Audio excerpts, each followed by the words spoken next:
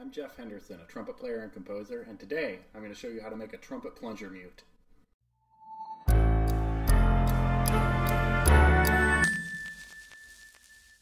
So basically, a plunger mute for trumpet is just a normal plumbing plunger. I usually use a sink plunger because it's a little bit smaller that has the handle removed and you use it as a trumpet mute. Make sure to get a brand new one. Most trumpet players will use it at some point in their career. It's used mostly in jazz music. I'm going to show you how to make a basic plunger mute, but if you're very serious about your trumpet playing, you should go check out the Hirschman Indigo plunger. I'll put a link to that in the description. The supplies for this project are going to be, of course, your plunger, a drawer handle, I got mine from Lowe's, two washers, about that size with a small hole in the middle. At Lowe's, these are part number 2576 if you're interested. Phillips head screwdriver, pair of vice grips, a small hacksaw, an X-Acto knife, and a pair of PVC cutters. So the first thing that we're going to want to do is take the handle out of the plunger. Once you've done that, you're going to take your PVC cutters and you're going to cut the top off of the plunger.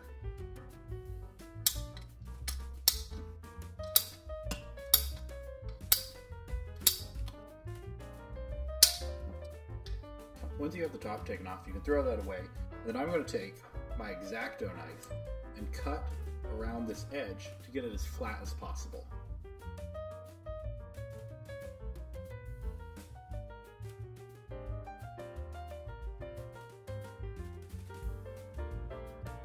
Once you've done taking the top off, you're going to want to create a little hole in the middle. So I usually do that by creating two perpendicular lines right in the center with my X-Acto knife.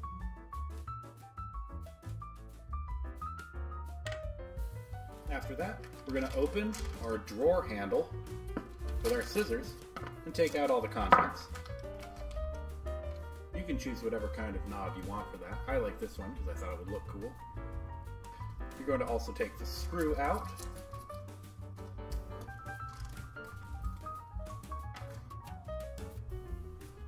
You notice if you put the screw all the way in, it's going to stick out a little bit too much for what we're going for. So what I'm going to do is take the hacksaw and chop a little bit off the screw. I'm going to put it in a pair of vice grips to make it a little bit easier.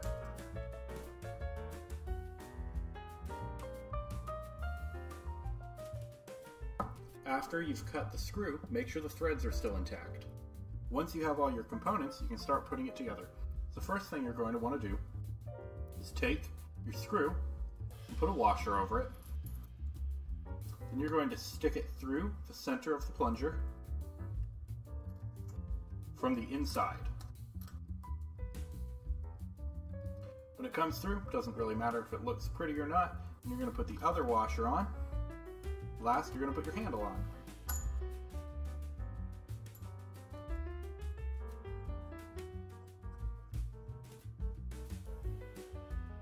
Last, you're going to want to finish screwing it together with a Phillips head screwdriver.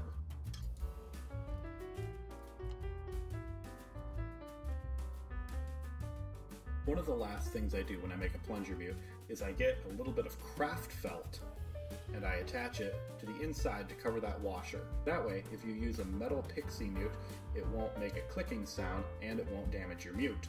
I usually just use a square of felt.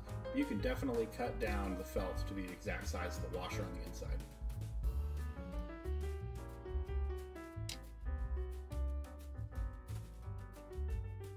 A number of trumpet players suggest that you drill a small hole or a couple small holes in your plunger and that will affect tuning, but try some different things, see what works best for you.